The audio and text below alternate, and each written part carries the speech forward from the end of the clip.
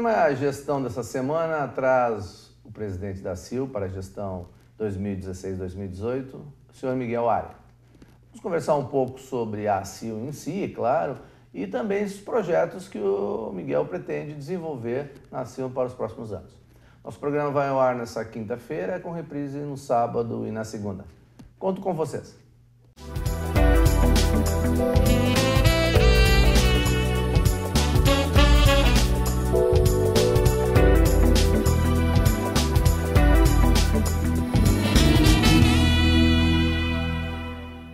Boa noite.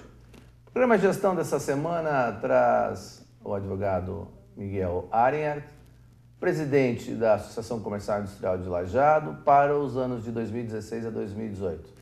Vamos conversar um pouquinho então sobre a CIL e toda essa, uh, todo esse desafio né, que o Miguel tem pela frente. Boa noite, Miguel, tudo bem? Boa noite, Gerson. Boa noite, telespectadores. É um privilégio participar do teu programa. Ok, obrigado por ter vindo. Miguel, uh, um pouquinho da tua história, né? Que o nosso programa se caracteriza por isso, conhecer um pouco da pessoa e depois a gente vai conversando um pouco mais sobre os projetos e todas, tudo que vem pela frente em termos de Associação Comercial Industrial de Lajado. Bom, eu sou natural de Estrela. Quando eu concluí o ensino médio, eu realmente não sabia ainda o que eu ia fazer da vida. E, de repente, surgiu a oportunidade e um convite para mim substituir um, funcionário do cartório judicial da comarca de Estrela, porque o escrivão da, uh, era meu vizinho. E ele me convidou, então, para trabalhar lá no, no mês de fevereiro de 1995. Pois bem, na época eu não tinha nem ideia, Gerson, uh, do que, que, fazia o fórum, o que, que, era um processo, qual era realmente o que se fazia dentro de um fórum. E enfim, fui lá, trabalhei no mês de fevereiro, acho que eu tive um, um bom destaque, porque meses depois abriu uma vaga e ele então me convidou para participar, então ser efetivado como uh, funcionário. O cartório na época era privatizado, então uh, o escrivão tinha a prerrogativa de contratar os, os funcionários. Comecei atendendo o, balcão, os, os, advogados e as partes que iam lá, e devagarinho fui conhecendo melhor a parte processual, fui subindo de, de, de escala, digamos assim. Uh, e, é, e, é, bom, né? A gente, a, a gente vê todos os lados da coisa, né? Exatamente. Principalmente quando está do outro lado do balcão. Exatamente. e ali, então, a partir dali que eu defini que eu iria estudar direito. Uh, fiquei no fórum até maio do ano de 2000 e, para te teres uma ideia, eu terminei eu saí de lá como escrivão uh, designado. Uh, na época, o escrivão acabou sendo afastado das suas funções e eu fui designado, então, pelo magistrado que era o titular da, da primeira vara, daí já, já tinha se transformado em primeira vara judicial de Estrela, fui, então, designado como escrivão titular do cartório, né? substituto do cartório. E, mas enfim, como daí se criou uma situação um pouco embaraçosa lá, em função dos problemas que tiveram, eu acabei saindo de lá e vim trabalhar no escritório onde eu estou até hoje. E aí tu já como advogado, fizesse o curso de... Aí na época eu ainda era estudante ah, de... de... Uhum. Então eu entrei no escritório como estagiário uhum. e me formei em janeiro de 2003. Uh, Aí eu tive que, na época, só poderia prestar o exame da ordem depois de formado, então eu fiz, fui fazer o exame da ordem lá em março de 2013 e em agosto eu recebi, então, uh, agosto de 2013 eu recebi a carteirinha, então, como a minha rápido, né? habilitação né? para ser advogado. Mas foi rápido, né? Porque no Brasil a gente sabe que não é fácil passar no exame da ordem. É... Era um bom aluno. Tive, não sei se eu era um bom aluno, mas o que me uh, ajudou muito na faculdade era que eu tinha a prática em função do, do fórum, né? Onde eu conheci muito da parte processual e vi muitos casos, processos, e, e, e, o, e, o, cartório, na época, ele era judicial, então ele trabalhava tanto na parte civil, família e criminal. Então eu tive essa experiência. E eu acho que isso é importante, né? porque uh, uma das grandes discussões que eu vejo hoje no mundo dos negócios, que é o nosso programa trabalha com isso, com a questão da gestão, né? é que muitas vezes as pessoas ou elas têm conhecimento acadêmico demais, ou elas têm conhecimento prático demais. E é importante você unir as duas, né? Ter o conhecimento prático, sim, e é o importante do dia a dia, mas também buscar na academia informações, qualificações e teorias que vão te auxiliar. Isso eu, na minha forma de ver, hoje eu vejo os bons profissionais têm esses, vamos usar a balança da justiça, um equilíbrio entre as duas partes, né? Ah, concordo plenamente. Pelo menos de minha parte, a, a, bom, eu só entrei no, no, no, no, ramo do direito em função da, da prática. E depois, em função dos estudos, eu consegui me aperfeiçoar e estou aí, estou no mercado. Né? Uhum. E aí entra a questão da CIL, né? a importância da CIL na tua história, né? Onde é que, onde é, é que entra a CIL uh, no teu dia a dia? O, o escritório onde eu trabalho, ele presta praticamente uh, trabalho na área de consultoria empresarial, então eu tenho contato com, com clientes e vários empresários. E, mas a, na eu acabei entrando a convite do antigo presidente, também, coincidência, é advogado, Alex Schmidt. Alex. Uhum então ele me convidou para participar da diretoria jurídica da entidade na última gestão e eu aceitei na hora o desafio, né? Então foi uma experiência bem legal e no final agora acabei sendo convidado a assumir então a presidência da entidade.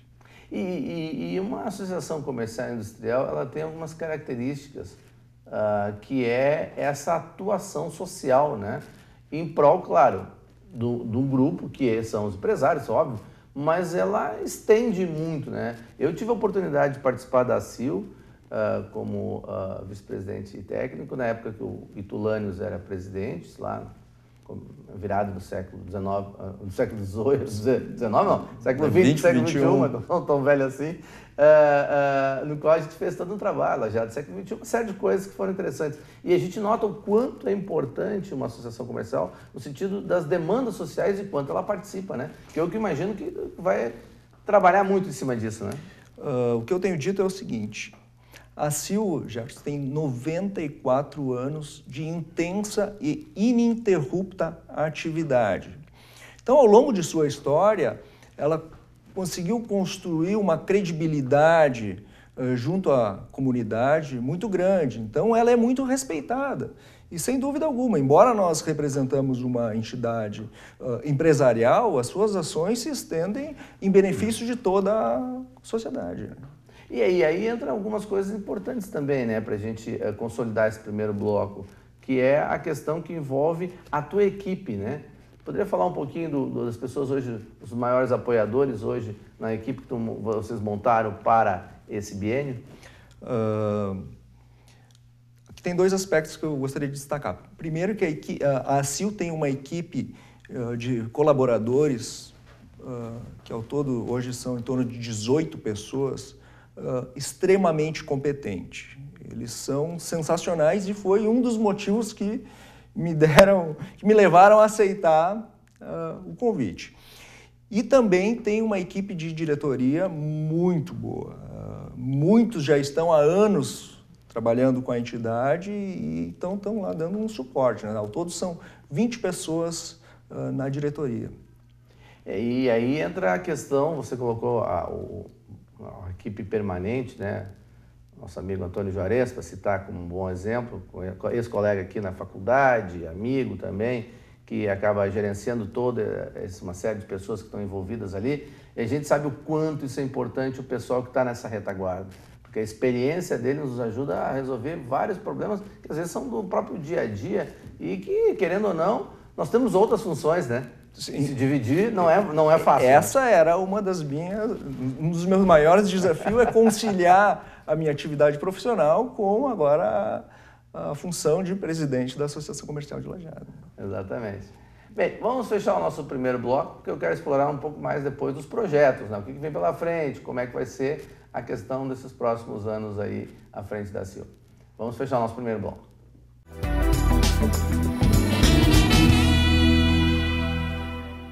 Bem, de volta ao nosso programa Gestão, essa semana recebendo o presidente da CIL, Miguel Arias, para o biênio 2016-2018. A gente está conversando um pouco sobre a, a CIL em si, né? Associação Comercial Industrial de Lajado, que vai, daqui uns dias vai ser centenária, né? Não é fácil chegar a 100 anos, né? E, e uma organização que chega a 100 anos é uma organização que, no mínimo, tem respeito, como você colocou muito bem antes, né, Miguel? E, mas, principalmente, é uma organização que se torna importante, porque ela acaba fazendo parte da vida de gerações de pessoas, né? E eu acho que isso que é uma das grandes características que eu vejo da CIL. Ela influencia e é influenciada por gerações de pessoas aqui, não só de Lajado, como todo o Vale Taquari, né? Uh, pois é. Que eu ressaltei no, no, discurso de posse, que eu acho que é, que é uma verdade, uh, que, as, que o desenvolvimento de Lajeado está diretamente ligado a CIL. As pessoas que empreenderam aqui, que se dedicaram, que botaram seu esforço, seu trabalho, tiveram uma passagem, se não pela presidência, no mínimo pela diretoria da CIL. Então eu acho que isso que fez dela, que construiu essa imagem que ela tem, né? Decorrente desse esforço conjunto de toda a sociedade. E como toda presidência, como toda pessoa que acaba comandando uma organização desse tipo, ela tem alguns projetos que às vezes são bem, assim, a menina dos olhos, vamos dizer assim, né? É, existe alguma menina dos olhos, existe alguma coisa que o Miguel gostaria de ser assim, ó, poxa, isso aqui é um projeto que eu tenho um carinho especial ou gostaria de desenvolver? É, na verdade, eu não tenho nenhum projeto ainda específico uh, a ponto de já lançar para né, uhum. a comunidade. Uh, a diretoria foi empossada agora no último dia 8, uh, então agora nós vamos rever os, os projetos que estão em andamento. Na entidade nós temos seis vice-presidências, cada um daí com a sua diretoria. Né? Então agora nós vamos fazer um, uma revisão do planejamento estratégico, mas eu acho que nós temos grandes desafios pela frente, principalmente em decorrência da, da situação que o Brasil está passando e que, querendo ou não, nos afeta diretamente. Né? Nós temos que promover agora, entre os dias uh, 11 e 20 de novembro, uma Expo Vale. Né? A gente tem conhecimento de que várias feiras estão sendo canceladas e a ACIL está determinada e já está um trabalho bem evoluído, digamos assim, em botar essa feira em pé. Ela, ela vai sair e estamos bem entusiasmados com, com o resultado que está para vir. Uh, Miguel, você colocou uma coisa que é, é um dado que é interessante, que eu não estava sabendo, que várias feiras estão sendo canceladas. E realmente, né, a gente sabe que essa questão da crise ela tem afetado diversos setores, até o setor, uh, no caso de exposição, de feiras e entretenimento, que envolve uma feira, né? como é o caso da Expo Vale, consolidada e com um nome já construída, não só aqui no Rio Grande do Sul, mas fora também, né? É, exatamente, e porque ah, uma feira exige um investimento muito elevado, inclusive às vezes dos expositores, né? E nessa época de retração, de, as, as empresas não estão comercializando, estão cortando custo em tudo o que é lugar, né? Inclusive acaba deixando de fazer investimento nesse tipo de, de evento. Uh, mas nós estamos bem entusiasmados, já estamos comercializando espaços, Uh, e a nossa meta é, no mínimo, fazer uma feira do porte da última. Uh, Para te teres uma ideia, em 2012 circularam pelo parque 175 mil visitantes e em 2014 foram 140 mil. Então houve uma redução. Em 2012 foram 400 expositores e 2014 foram 360, muito embora em 2014 onde o cenário já não era tão bom quanto em 2012, o, o, volume de negócios foi maior. Eu, eu, acho que tu coloca uma coisa, uh, Miguel, que eu, eu vejo, uh, a gente que vai em feiras, uh, essas feiras chamadas mais eh, focadas, né? É, que é isso, não é tanto o número de pessoas, mas sim o desempenho que a feira tem para os expositores, expositores que, consequentemente, buscam uh, uh, uh, visitantes que queiram realmente fazer negócio, que queiram realmente se envolver com o produto ou o serviço que está sendo oferecido. Essas feiras acabam tendo um volume muito maior de negócios, então, e não, não necessariamente com uma quantidade tão grande, ou às vezes até menor, como é o caso da Expo Vale, como exemplo de 2014. Né? É, nós, tamo, nós também temos a Construmóvel, que ela intercala né, uhum. com a Expo Vale, que é cada dois anos, e a Construmóvel já tem outras características. Ela é Exato. uma feira com um público muito menor, até porque as ela não tem tantas atrações culturais, como diferentemente da Expo Vale, né? Uh, mas o, um volume de negócio muito interessante. A, a, última que foi realizada em setembro de 2014 teve uma avaliação dos expositores super positiva. E aí faz com que as pessoas acabem uh, que vão nessas feiras específicas saindo muito mais satisfeitas também. Sem né? dúvida Porque alguma. elas vão encontrar novidades, vão encontrar oportunidades, vão encontrar novos negócios, novas situações interessantes. Mas a, a, a, a CIO ela tem uma série de serviços que muitas vezes as pessoas não sabem, né? Junta comercial, é, é verdade. da qualidade. Né? Tem uma série, os braços da CIO hoje ela, ela atua em diversos uh, segmentos. É, como controlar tudo isso, né? Como gerenciar isso tudo? Graças ao nosso amigo e gerente que tu já referiste, o Juarez. Ele que é a pessoa que, que faz toda a coordenação interna da, da entidade. Nós temos a junta comercial, tem a parceiro voluntários, a o CEPRO também se reúne lá, CEPRO, né? a SIC Vale do Taquari, tem o Badesul, uh, enfim, uh, o Comitê da Qualidade, Uh, tudo isso funciona lá na, na, estrutura da Silk, por sinal, ela sofreu uma, uma reforma nos últimos anos, está excelente, está uma estrutura muito boa. Uh, e por isso que nós temos uma equipe interna um número de pessoas relativamente grande, né, para ser uma entidade, uh, mas é justamente em função do trabalho que ela, que ela desenvolve, que muitas vezes as pessoas nem tomam conhecimento. Né? um um dos, dos, objetivos que eu tenho uh, como presidente é divulgar mais quais são, de fato, os serviços uh, e, os projetos em que a entidade está envolvida. Bem, nesse segundo bloco conhecemos um pouco mais né, de toda a ação que o Miguel Arenha pretende, novo presidente da CIL pretende, para os próximos anos em relação ao comando da CIL. No terceiro bloco, eu quero explorar um pouco mais aí da, do conhecimento do Miguel, né, que atua nessa área toda aí de, uh, na área de advocacia, diversos segmentos, para a gente conversar um pouco também da importância das associações comerciais nesse ambiente que nós estamos vivendo hoje, né? Cada vez mais a gente nota que as ações coletivas elas devem ser feitas porque elas são importantes nos rumos e nas decisões que estão sendo tomadas no nosso país. Vamos encerrar o nosso segundo bloco e depois a gente volta.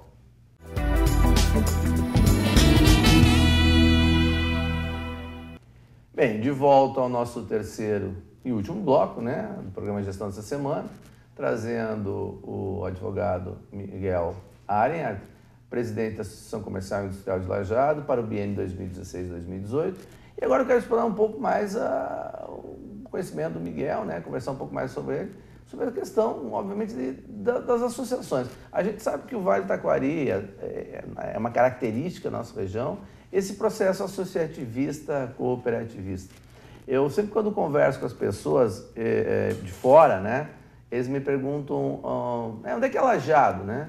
Eu disse, olha, Lajado é difícil de dizer porque é uma cidade pequena, é um vale que também assim tecnicamente às vezes não tem tanta representatividade, mas eu posso dizer é o único lugar que eu conheço que eu nunca vi crise. Isso eu posso falar sem medo de errar. Nós, desde que eu me conheço por gente, tenho 50 anos, eu nunca vi crise no Vale do Taquari.